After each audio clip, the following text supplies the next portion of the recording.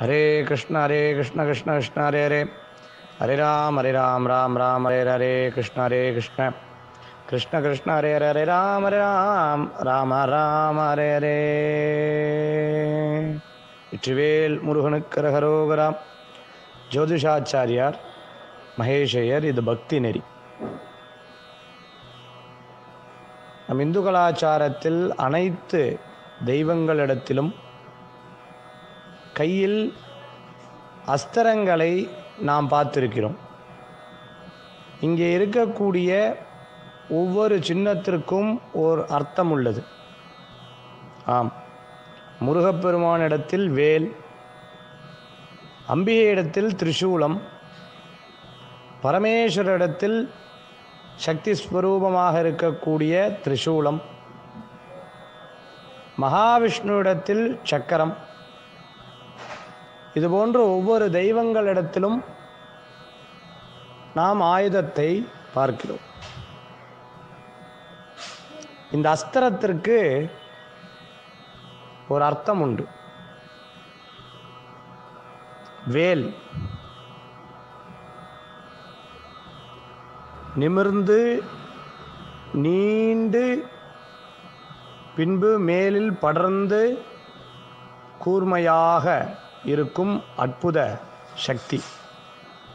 வேல் வான் நோக்கி நிற்கும். ஒரு மனிதனின் எண்ணம் செயல் தைரியம்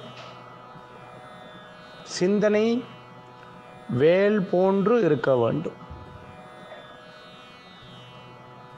திரிசூலம்.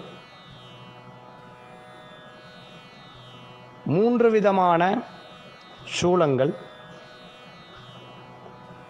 ஒன்று மேல் நோக்கி இருப்பதும் மற்றொன்று ஒரு திசையை நோக்கி மற்றொன்று இன்னொரு திசையை நோக்கி. நாம் ஒரு காரியத்தை செய்யும் பொழுது நாலா திசையும் பார்த்து ஒரு விஷயத்தை செய்ய வேண்டும். அதேபோன்று எவரொருவர் உமாமகேஸ்வரரை வணங்குகிறார்களோ? அவர்களுக்கு நான்கு திசையிலும் இருந்து அனுக்கிரகங்கள் கிடைக்கின்றது. இயற்கையின் ஆசிர்வாதம் உண்டு. சங்கு சக்கரம். இந்த சக்கரத்தை எல்லா இடங்களிலும் கூர்முனை உள்ளது.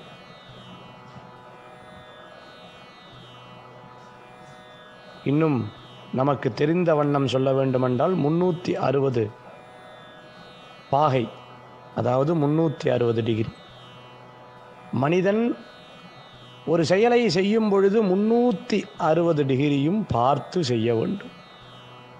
எவரொருவர் மகாவிஷ்ணுவை வணங்குகிறாரோ அவருக்கும் எத்திசையிலும் அனுக்கிரகங்கள் கிடைக்கின்றது. இதுபோன்று ஒவ்வொரு அஸ்திரத்திற்கும் ஒவ்வொரு அர்த்தங்களை நாம் எடுத்துக்கொள்ள முடிகிறது. ஆம்.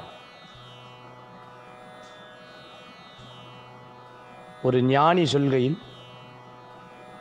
உங்களுக்கு யார் குரு என்று அந்த ஞானியிடம் கேட்கும் பொழுது அவர் சொல்கிறார் ஐம்பத்தி நான்கு வகையான குரு. என்னது? ஐம்பத்தி நான்கு வகையான குருவா? ஆம். நான் தினம் தினம் எனக்கு சில பாடங்களை கற்றுக்கொண்டிருக்கின்றேன்.